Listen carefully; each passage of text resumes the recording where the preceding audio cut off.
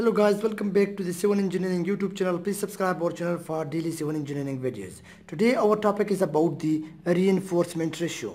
What is reinforcement ratio? And I will do one example on that reinforcement ratio and also I will explain the different ranges of reinforcement ratio for the slab, beam, column as well as the footing.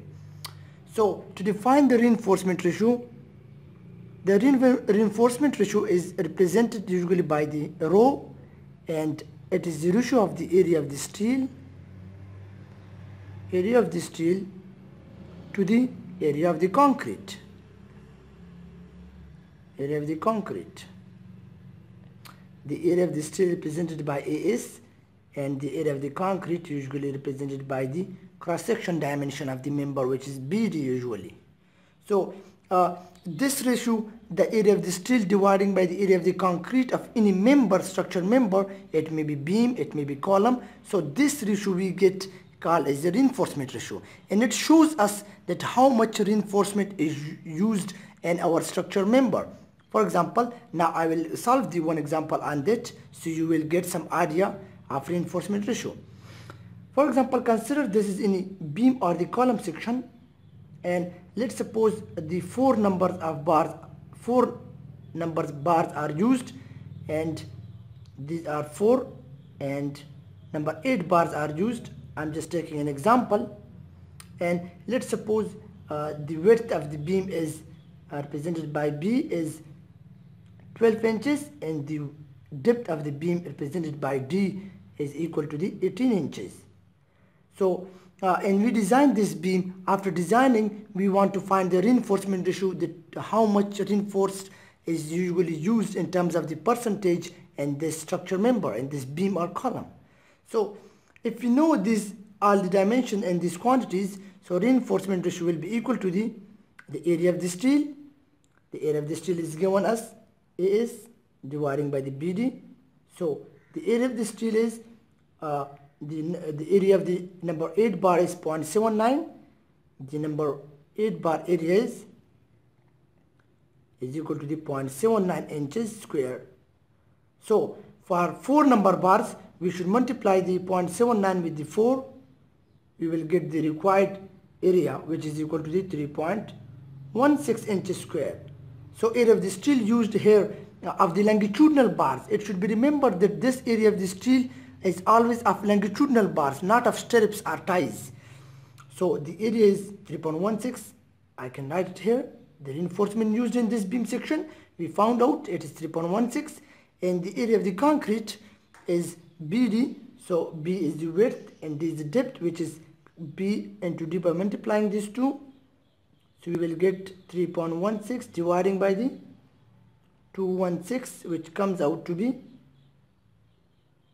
0.014 it means this amount of reinforcement is used in that area of the beam or column section.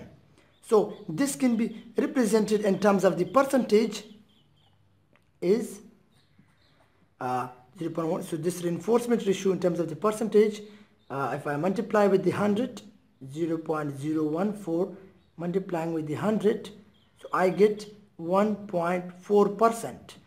It means the reinforcement ratio for this beam or column section is 1.4%. This amount of reinforcement is used in terms of the percentage or that of the area of the concrete. So this is called the reinforcement ratio.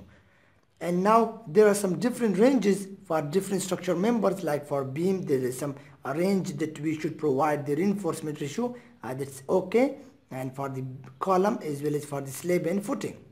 So the reinforcement ranges for different type of structure members are uh, for the columns reinforcement ratio for the column uh, is generally ranges between the 1% is minimum and maximum is 8% allowed uh, to use uh, that type of that amount of reinforcement ratio in the columns. The reinforcement ratio for the beam uh, is generally 2% it may be more or less but it should be uh, in between somewhere at 2% for the slabs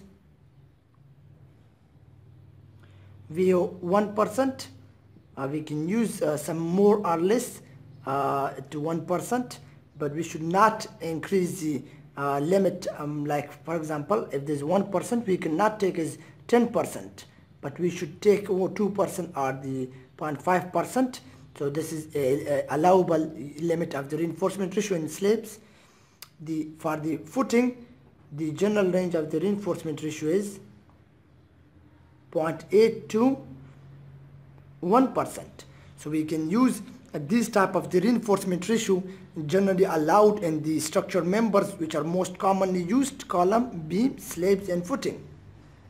So with the help of these uh, reinforcement ratios we can know that how much uh, steel are used in our structure members and so this was all about the today topic and don't forget to subscribe our channel for daily civil engineering videos. Uh, thank you for watching our video.